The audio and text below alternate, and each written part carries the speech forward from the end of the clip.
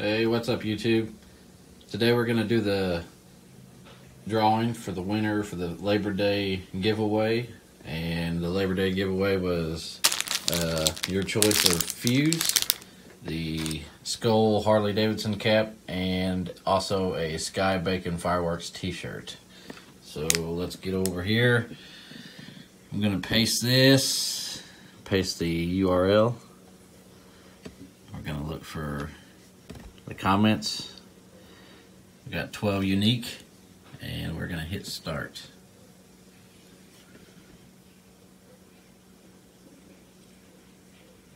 And the winner is Hillbilly Pyro. Hillbilly Pyro, he's a cool dude. Uh, congratulations, brother. Uh, just send me an email with your address. Uh, I'm going to post my email, but I believe you already have it. But I'll post my email in the description and let me know your address and let me know what size shirt and color you would like.